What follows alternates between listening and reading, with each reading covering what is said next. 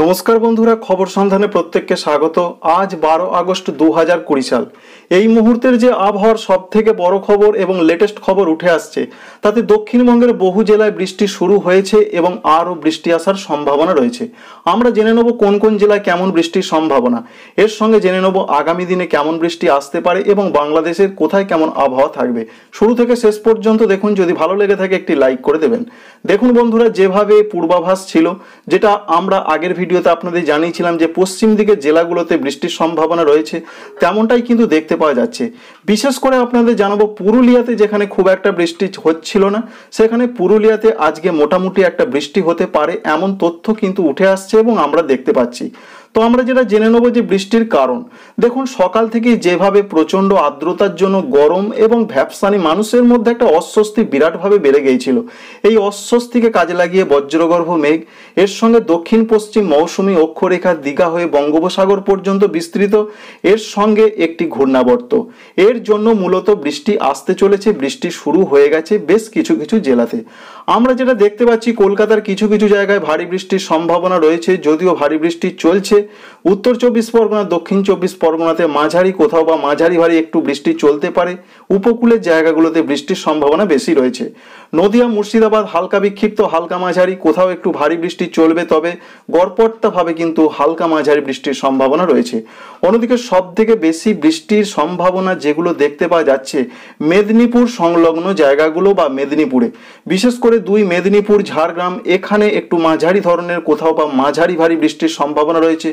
পুরুলিয়াতে বেশ ভালো ধরনের বৃষ্টির সম্ভাবনা রয়েছে। বিশেষ করে মাঝারি ভারী বা মাঝারি তো চলবেই, এমনটা দেখতে পাওয়া যাচ্ছে। এর সঙ্গে বীরভূম জেলাতেও বৃষ্টির ভালো সম্ভাবনা রয়েছে। এর সঙ্গে রয়েছে বাঁকুড়াতে হালকা বিক্ষিপ্ত, হালকা মাঝারি, পূর্ব বর্ধমানে হালকা বিক্ষিপ্ত, হালকা মাঝারি বৃষ্টির সম্ভাবনা। পশ্চিম বর্ধমানে একটু মাঝারি বৃষ্টির সম্ভাবনা রয়েছে। এর সঙ্গে আপনাদের আরও জানাব এই যে বৃষ্টি হচ্ছে বা আসতে চলেছে, বজ্র বিদ্যুৎ সব বিভিন্ন জায়গাতেও বৃষ্টির একটা সম্ভাবনা রয়েছে। এর সঙ্গে আমরা উত্তরবঙ্গের যে আবহাওয়ার খবর দেখতে পাচ্ছি, তাতে দার্জিলিং, কালিম্পং, জলপাইগুড়ি, কুচবিহার, আলিপুরদুয়ার। ওপরের দিকের পাঁচ জেলাতে বিক্ষিপ্ত হয়ে ভারী বৃষ্টি চলেছে এবং এই রকম ভারী বৃষ্টির সম্ভাবনা আগামী চব্বিশ ঘন্টাতেও রয়েছে এবং আজকেও সম্ভাবনা রয়েছে বেশ কিছু কিছু জেলাতে। অন্যদিকে যে দুই দিনাজপুর এবং মালদহ, এখানেও কিন্তু বিক্ষিপ্তভাবে বজ্র বিদ্যুৎ সহ হালকা থেকে মাঝারি বৃষ্টিপাতের সম্ভাবনা থেকেই যাচ্ছে। সুতরাং বন্ধুরা, আগামীকালই নিম্নচাপ উঠতে চলেছে, যদিও সেটি দানা বেঁধে গেছে আমরা দেখতে পাচ্ছি এবং সেটি আরও শক্তিশালী হবে ধীরে ধীরে। এর জন্য এবার কিন্তু দক্ষিণবঙ্গে বৃষ্টির পরিমাণটা বাড়তে পারে। যদি আবহাওয়াটা না ঘুরে যায় বা নিম্নচাপের গতিপথ আবার পাল্টে না যায়। তবে একটা বৃষ্টি যেটা আসছে সেটা আপনাদের আগেই জানিয়েছি এবং সম্ভাবনা কিন্তু রয়েছে। বেশ একটা বৃষ্টি দক্ষিণবঙ্গের একরকম অধিকাংশ জেলাতেই এমনটাই লেটেস্ট তথ্য উঠে আসছে। এর সঙ্গে আমরা জেনে নেব পশ্চিমবঙ্গ সংলগ্ন যে রাজ্যগুলো রয়েছে, বিশেষ করে উড়িষ্যাতে ভারী বৃষ্টির সম্ভাবনা রয়েছে। বিশেষ বিশেষ করে ঝাড়খণ্ড এবং বিহারে বেশ ভারী ধরনের বৃষ্টির সম্ভাবনা রয়েছে। বিশেষ করে নেপাল এবং বিহার এই যে সীমান্ত জায়গাগুলোতে প্রচণ্ড বৃষ্টি এবং ঝাড়খণ্ডে প্রচণ্ড বৃষ্টি হওয়া মানেই কিন্তু পশ্চিমবঙ্গের বেশ কিছু জেলার নদীগুলোতে জলস্ফীতি দেখা দিতে পারে। এর জন্য কিন্তু পরিস্থিতি অবনতি হতে পারে।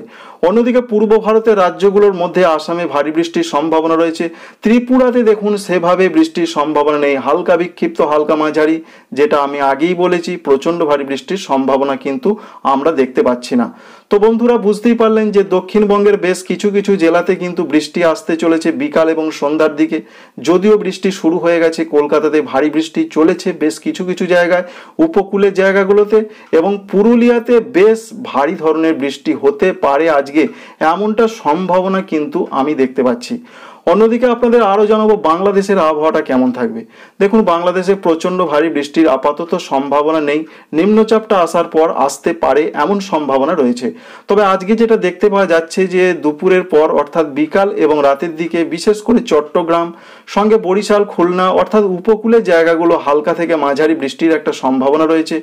অন্যদিকে উত্তর, অর্থাৎ উত্তর পূর্ব ভারতের রাজ্যগুলো সংলগ্ন বিশেষ করে সিলেট, এখানে একটু বিক্ষিপ্ত হয়ে বৃষ্টির সম্ভাবনা রয়েছে ময়মনসিংহতেও তাই। মোটামুটিভাবে এটা বোঝা যাচ্ছে যে উপকূলের জায়গাগুলোতে বৃষ্টির একটা সম্ভাবনা রয়েছে। তো বন্ধুরা, বুঝতেই পারলেন, এটাই ছিল এখনকার আবহাওয়ার লেটেস্ট খবর যে পশ্চিমবঙ্গের জেলাগুলোতে বৃষ্টি আসছে, বাংলাদেশেও হালকা বিক্ষিপ্ত বৃষ্টি আসছে। আগামীকাল নিম্নচাপ, আরও দানা বাঁধতে চলেছে, গভীরভাবে শক্তিশালী হবে এবং আগামী দিনে আরও বৃষ্টি আসবে। আপনাদের আমি পরে লাইভ দেখানোর চেষ্টা করব, যেটা আমি আগেই বলেছি। এটাই ছিল বন্ধুরা এখনকার লেটেস্ট ভিডিও এবং লেটেস্ট আবহাওয়ার খবর। Thank you friends thank you for watching